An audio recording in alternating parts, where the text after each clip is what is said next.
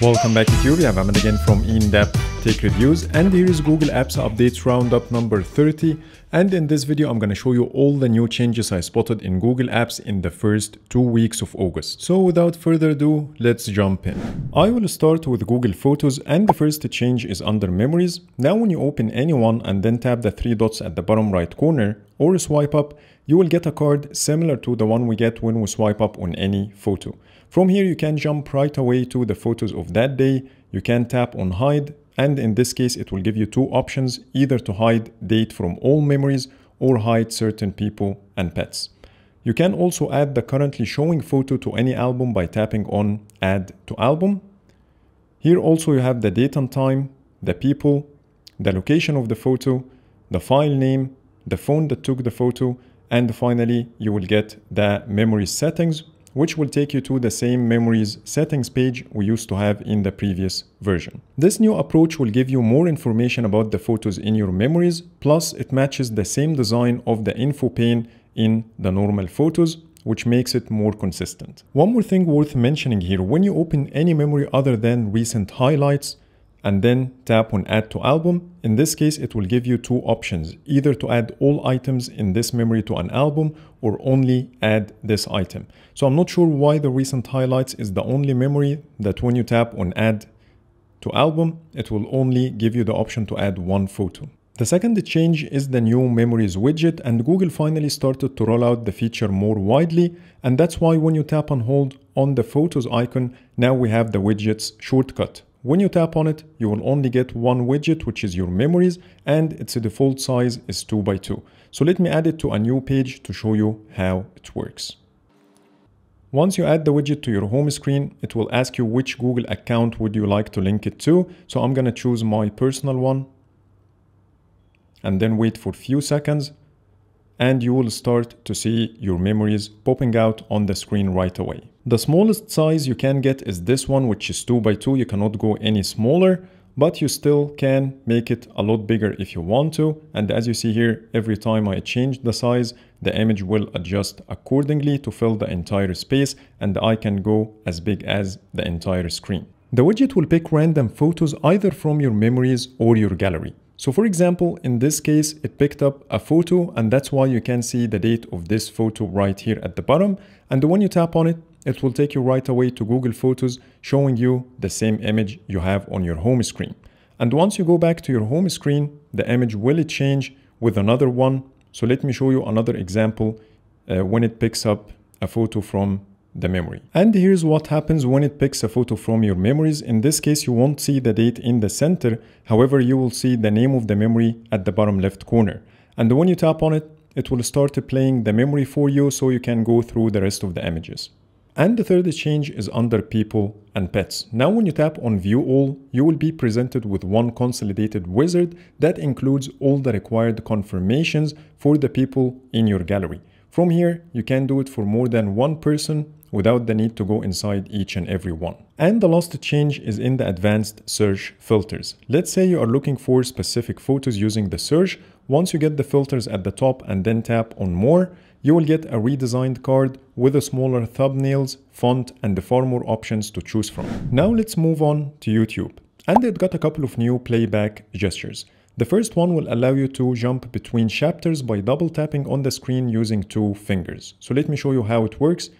Now I jump to the next chapter and by doing this, I can jump to the previous one. You will also notice the name of the chapter will be written on the screen briefly and then it will go away. The second gesture is the ability to scrub through the video by tapping and holding on the screen and it will give you this animation explaining to you how it works. When you start dragging your finger, you will be able to seek forward and backward. Those two gestures will work in portrait mode and landscape mode as well. The second change in YouTube is in the captions when the video starts to play automatically on your home screen. On the right I have my Pixel 4a which got the new change. My Pixel 5 is running the same YouTube version but I didn't see this new feature. If you take a look closely here you will see on my Pixel 5 the captions are using a light gray color and they are always in a rectangular shape. On my Pixel 5 the background color is black and it's wrapping around the text. In contrast, when you tap on the video to play it normally, the captions look exactly the same. Next, YouTube Music. And I only have one change here. In one of my videos, I showed you when you search for something, you will get the results from YouTube Music and your own library, but now Google expanded the search to include your downloads, and if you have any songs uploaded, you will get a fourth one called uploads, which will make your search much more useful. Now let's talk about Gboard, and it got plenty of new changes. The first one, when you type any word, it will always appear in the first spot of your suggestions strip and it will have an underline. It wasn't clear to me why this new feature exists, but after using it for a while, I found that if you have the autocorrect feature turned on, but you still want to use your own words, you can do this by tapping your word in the suggestion strip, and by this, the keyboard will ignore any autocorrection and keep the word as it is. Also, if you have the autocorrect feature turned on, now Gboard will tell you which word it's going to use once you hit the spacebar. So in this case, the word those is highlighted.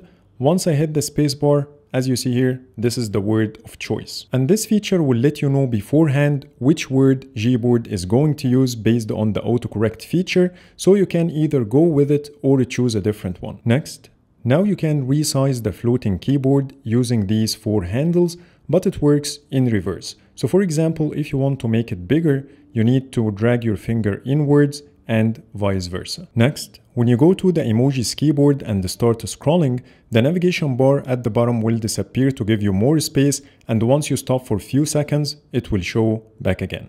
This new behavior applies to all the tabs you have at the bottom. And if you are using Android 12 and have the dynamic theme selected under settings, you will get this redesigned number pad that matches your device theme and also the buttons are now more rounded to match Android 12 design language. Now let's talk about the settings page of Gboard and it got some changes. The first one is the initial support of Material You and that's why you see this highlight at the top and you can see it in each and every page. It doesn't work 100% yet, but this will give us a hint about how it will look in the future.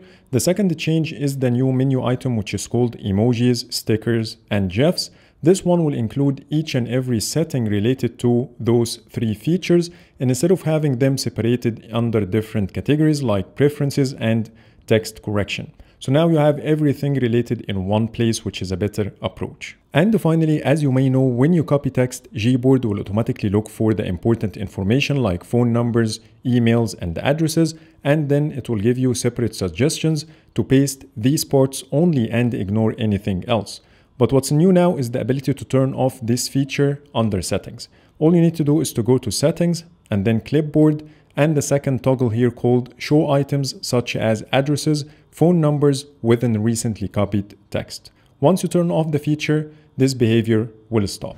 Now let's talk about Google Phone app and Contacts. Starting with the Contacts app, now it supports Material You, and that's why the search bar at the top is matching my device theme, same as the side menu. You'll also see the floating button here at the bottom right corner, and when you try to add a new contact, everything is matching my device theme now. Other than this, it works exactly the same, no difference. And you will see the same change when you try to add a contact using the phone app. So for example, when I tap on create a new contact, as you see here, I'm getting the same design because it's an extension for the contacts app. Talking about the phone app, if you are using Android 12 and have an ongoing call, you will see a chip here at the top left corner next to the clock instead of the floating bubble like before. So let me show you how it works. So now I have an ongoing call and once I go to the home screen, as you see here, the chip started to appear with the counter. And when you tap on it, it will take you back to the call screen. And when you pull down your notification shade, you will see this permanent notification with the ability to hang up, mute, or turn on the speaker. One more thing worth mentioning here, after connecting my Bluetooth headphones, now the option to change the audio source disappeared but I used to be able to do this using the bubble, so I'm not sure if it's a bug in Android 12 or this is how it should work in the future. The last thing to talk about in the phone app is the call recording. Google started to roll out the feature more widely to Pixel devices and I have it here on my Pixel 5. However, this feature doesn't work in each and every country. I used to have it up and running in Egypt, but once I came back to the UAE, the feature stopped working. And to confirm this, when I go to settings, I have the option call recording, but when I go inside, it says call recording isn't available in your location. The only thing it allows me to do here is to choose when to delete the recordings and choose between those four options.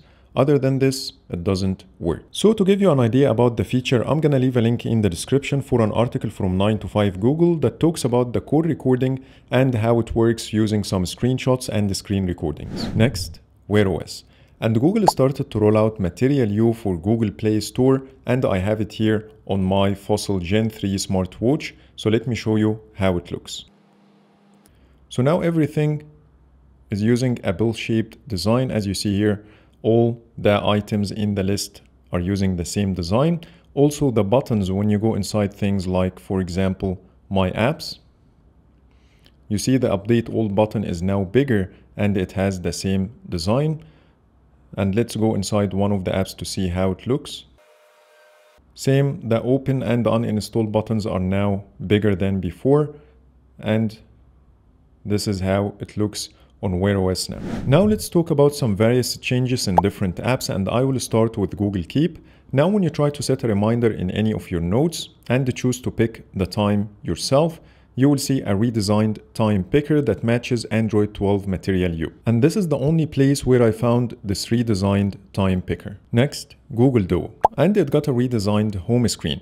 And instead of having the old split design that shows your camera viewfinder at the top and then your contact list at the bottom, now all you get is one page with the history of your calls and one button here called a new call. When you tap on it, it will populate your contact list. From here, you can create a group by choosing up to 31 people and also search for the contact you want. Other than this, it works exactly the same. So that's pretty much it for today. Those are all the new changes I spotted in Google Apps in the first two weeks of August. So I hope you like my video and if you do, please hit the thumbs up and subscribe for more videos. Thank you for watching.